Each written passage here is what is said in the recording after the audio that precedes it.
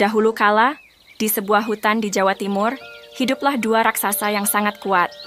Yang pertama adalah Baya, seekor buaya raksasa yang tinggal di sungai. Yang kedua adalah Sura, seekor hiu raksasa yang tinggal di laut. Baya adalah pemangsa yang sangat ditakuti di hutan. Dia sangat kuat dan ganas, dan semua binatang di hutan takut padanya. Sura juga adalah pemangsa yang ditakuti di laut. Dia sangat besar dan kuat, dan semua ikan di laut takut padanya. Suatu hari, Sura bosan makan ikan. Dia ingin mencoba makanan lain, jadi dia berenang ke sungai. Di sana, dia melihat seekor kijang kecil yang sedang minum air. Sura lapar, jadi dia melompat keluar dari air dan menangkap kijang itu.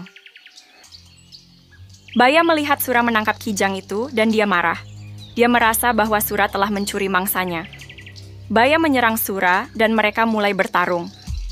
Pertarungan antara Sura dan Baya berlangsung selama berhari-hari. Kedua raksasa itu sama-sama kuat dan tidak ada yang bisa mengalahkan yang lain.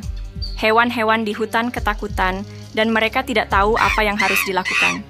Akhirnya, Sura dan Baya kelelahan. Mereka berdua terluka parah dan mereka tidak bisa bertarung lagi. Baiklah, kata Sura. Aku lelah. Mari kita hentikan pertarungan ini. Aku juga lelah, kata Baya. Baiklah, mari kita berdamai. Sura dan Baya berdamai. Mereka sepakat untuk membagi wilayah hutan. Sura akan tinggal di laut dan Baya akan tinggal di sungai. Sejak saat itu, Sura dan Baya tidak pernah bertarung lagi. Hewan-hewan di hutan pun bisa hidup dengan tenang. Tempat di mana Sura dan Baya bertarung kemudian disebut Surabaya.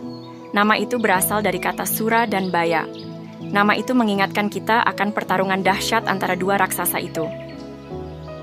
Pesan moral, kita harus selalu berdamai dan tidak boleh berkelahi.